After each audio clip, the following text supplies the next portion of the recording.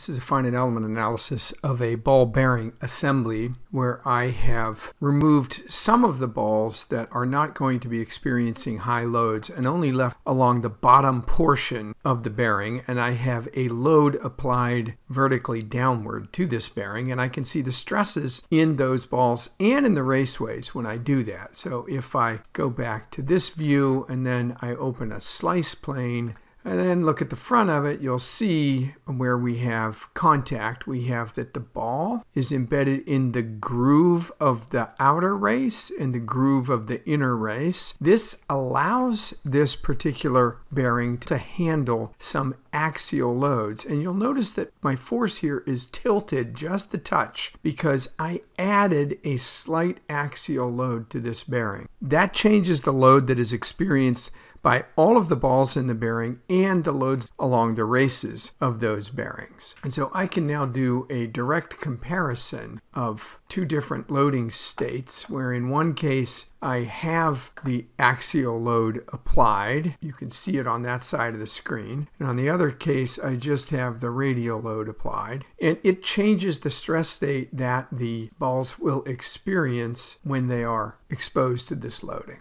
We have to consider now the possibility of varying the loads that are applied to the shaft, and we are going to be changing the loads that the bearings feel. Well, we want to know the representative number of rotations for each load that we apply. Now, you have to remember that this force times the load raised to the power 1 over a is going to be equal to some constant. We can raise everything to the power of a and rewrite that equation f to the a power times L is going to be equal to a constant. That puts you right on the load lifetime curve. And here's a reproduction of the load lifetime curve, where now what we have done is write it in terms of radial load to the power A plotted against the lifetime L. And the important thing in here is that this line right here, remember this is the power law equation. And the way we've written it here, the load to the A power times L is equal to some constant. So everywhere on that line, you're equal to the same constant. So that is for a set and fixed reliability.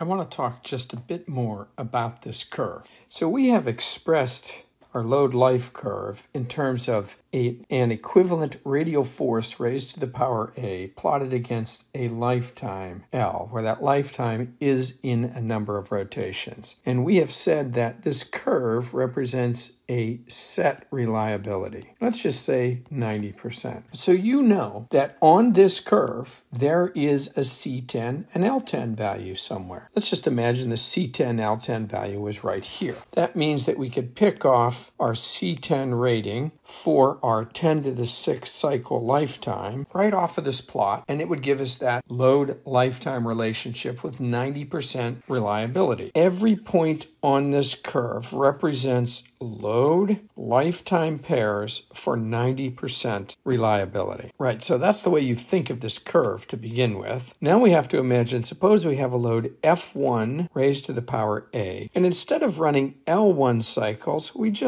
run a little L1. So we run a number of rotations that are less than the number of rotations that are guaranteed with the 90% reliability curve. And so what we have done is we've used up an amount of life right here represented in this cross-sectional area. So that life that has been used up is simply going to be F1 to the power A times L1. And the fraction of life used up will be a ratio of that rectangular area to the total rectangular area. And so the fraction of life used is going to be f1 to the a power times L1 divided by f1 to the a power times capital L1. Well, that just gives me L1 over capital L1.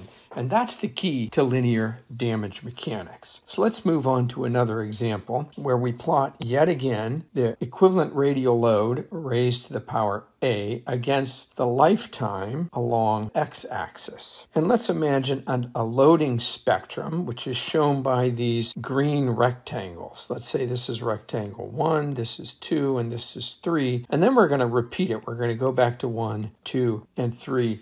And we wonder how many times we can do that that before we have exhausted the reliability of the system. We're going to calculate the area of each of these rectangles. The first rectangle shown, shown here is going to have an area f1 to the a power times little l1, lowercase l1. This rank rectangle is going to have f2 to the a power times l2, and this one f3 to the a power times l3. We add those up. We add f1 to the a power times l1 plus f2 times L2, F3 times L3, and that gives us a measure of damage. It's going to be a fraction of the overall life of the system. But we have to figure out how we're going to accommodate that damage and how we're going to turn it into something that we can use in design. So, what we know immediately is that each of these little load rectangles, if you look carefully, will have an associated intercept with this 90% reliability curve that will give us the,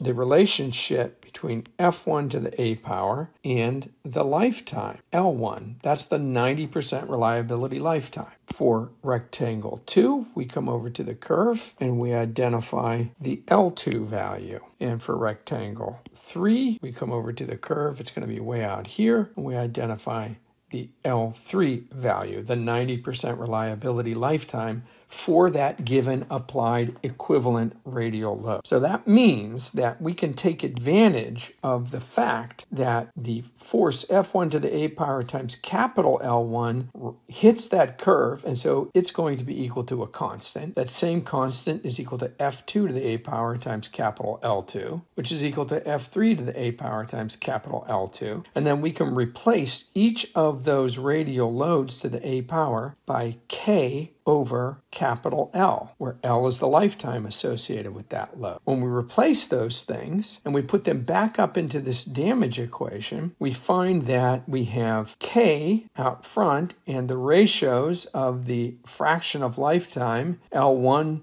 over capital L1, L2 over capital L2, likewise L for L3. And all of that then can give us a fraction of life term. This is our fraction of life. Now, if we want to run that repeatedly, we have used up all of our life when that fraction goes to 1. So we can multiply this periodic loading by n, and it tells us the number of times we can do it. This is called linear damage mechanics, and it assumes that the order you add these things doesn't matter. It's a pretty gross oversimplification, but it is an approach that can be used to help you incorporate a spectrum of loads into a reliability calculation so that you can choose C10 values appropriate to that particular loading spectrum.